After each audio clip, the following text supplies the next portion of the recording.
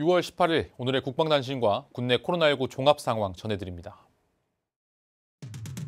서 국방부 장관이 지난 17일 천안함 유가족 협의 회장과 최원일 전 함장 등 천안함 관계자 4명을 만나 면담을 가졌습니다. 천안함 관계자 측은 전사자와 생존 장병에 대한 명예 회복과 음모론 차단을 위한 대책 강구를 요청했으며 국방부는 천안함이 북한군의 어뢰 공격으로 인해 침몰됐다는 조사 결과를 전적으로 신뢰한다며 악성 루머와 허위사실 유포에 대한 대응 방안을 강구해 나가기로 했습니다. 국방부 유해 발굴 감시단이 지난 2011년 발굴한 6.25 전사자 유해의 신원을 확인했습니다. 165번째로 신원이 확인된 유해는 고 고병수 하사로 1950년 12월 입대, 1951년 8월에 시작된 백석산 전투에서 전사했습니다. 국방부 유해 발굴 감시단은 유가족의 유전자 시료가 있었기에 신원 확인이 가능했다며 호국의 영웅 기한 행사를 갖고 유해는 국립현충원에 안장하겠다고 밝혔습니다.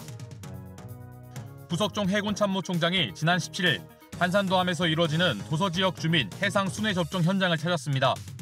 해군의 방역 책임관으로서 접종 현장을 점검한 부총장은 도서 지역 주민들의 접종 지원을 위해 세심한 주의를 기울여달라고 당부하며 국민의 군대로 주어진 사명을 완수하자고 말했습니다.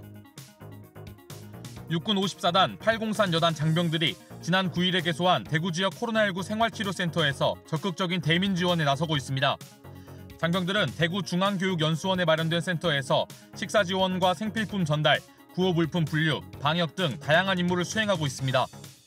부대는 센터 운영이 끝날 때까지 임무를 이어가겠다고 밝혔습니다.